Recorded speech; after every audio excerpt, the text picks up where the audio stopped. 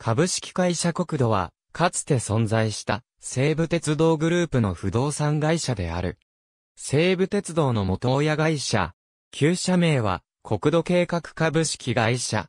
本社は東京都渋谷区神宮前にあった。堤康次郎1920年に箱根土地株式会社として設立され、初代社長には藤田健一が就任した。西武グループを築き上げた堤康次郎が設立した開発業者で、大正から昭和初期に国立市や小平市の学園都市開発、箱根、軽井沢の別荘地開発を手掛け成長する。不動産開発業者であるとともに、事実上の西武鉄道グループの持ち株会社であり、西武鉄道やプリンスホテル等の株式を多く保有していた。国土自体は非公開企業で、株主は堤家であるため、株主であり代表取締役会長でもあった、堤義明が実質的なオナーとして、会計や実態を公開する必要なく、西部グループ全体に強い影響力を有していた。多額の売り上げを有していたにもかかわらず、同規模の企業と比較しても国税庁への納税額は極めて少なかった。会計や実態がほとんど公開されていなかったため、経済市場では未だ多くの謎が残る企業となっている。ゴルフ場やスキー場を有し、日本最大の作動事業者でもあった。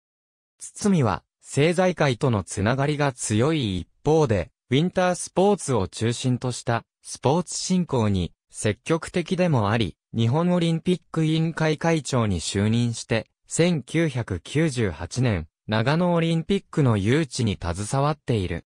プロ野球、西武ライオンズの元親会社であり、アイスホッケーチームを保有。いずれも、競合チームとして一時代を築き上げていた。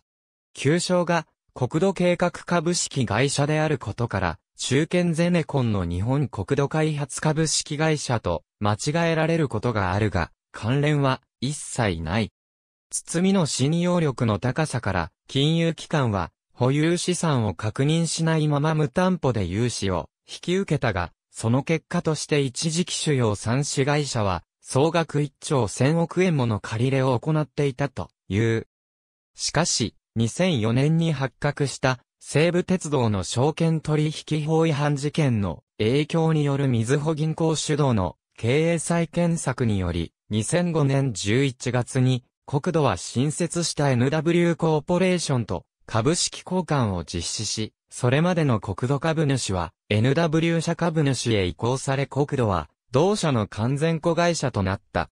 2006年2月1日に旧プリンスホテルに吸収合併され、国土は解散した。神宮前の本社屋も売却された。同年3月に実施された旧プリンスホテルから西武ホールディングスへの株式転段階で NW 社の出資比率が大幅に低下した。初代社長、藤田健一。ありがとうございます。